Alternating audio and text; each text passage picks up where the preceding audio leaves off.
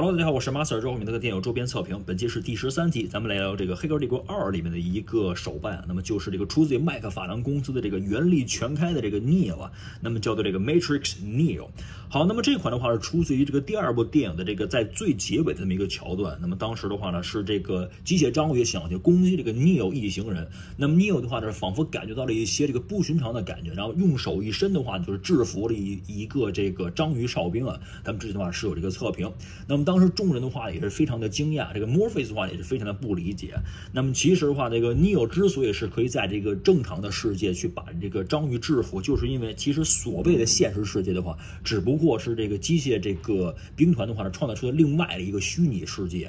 而我们这个 Neo 的话呢，其实真正的身份的话呢，其实就是一个在虚拟世界的里面的一个呃补丁一个 bug，那么也是一个比较悲惨的这么一个故事。好的，我们来看一下，那么这款的话呢，就是一个非常经典的一个形象。那么我的话也是有这个收入两款，我们先来看有这个纸品的部分。好的，那么这款的话呢，就在这里啊。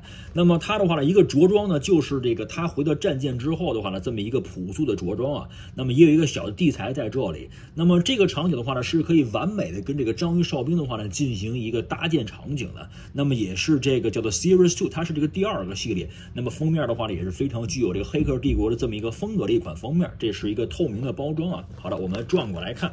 那么后边的话呢，就是一些在这个第二个系列里面所出现的一些这个玩具啊，比如说这个像这个 Niobe 啊，Niobe 就是威尔史密斯的太太啊。好，在这个地方 Trinity 那么巨入大楼，还有这个 Morpheus 的话呢，在这个红沙发前的等待的这个电话啊，当然这个地方还有这个最后一站的场都是非常的经典。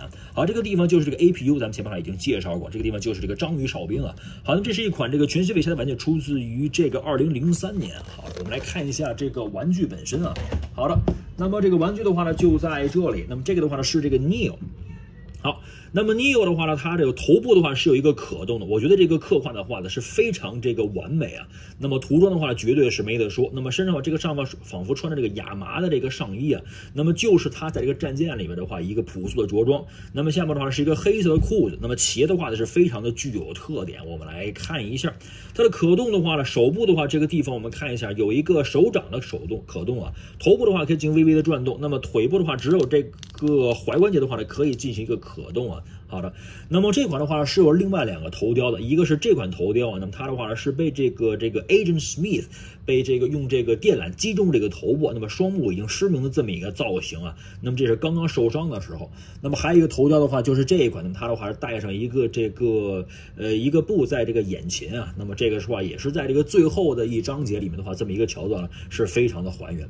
好，另外的话就是它还有一个这样一个地台啊，那么这个地台的话呢，其实它是可以有一个脚下的一个。小棍儿可以放在这里，那么其实也可以的话呢，直接把它的话这样站在这个地台的上面，就是可以完美的还原这个在这个电影第二部的最后的一个桥段。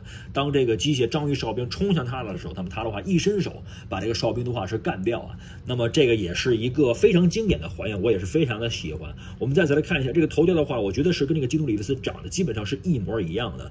那么这也是在这个麦克法兰当时生产的一款玩具。我觉得麦克法兰公司的话呢，其实是有很多的一个经典，那么是。有很多的套装，那么我的话也是有进行一个购入啊。那么之后我们有机会的话，也会进行一个一一的这么一个介绍啊。好的，那这我们今天的测评，那这个玩具的话，就是一个在这个《黑帝国》第二部最后出现的这么一个场景，它是伸手支撑干掉了一个机械章鱼。那么我觉得是一个，如果你有机械章鱼的话，这款的话是绝对必定要这个收入囊中的。好，我们这次测评，大家喜欢的话，点赞、转发、各位我们来继续交流。我目标的话是一百期，包括游戏和电影周边的测评啊。那在古代主播的全新动力，我们下期再见，See you next time。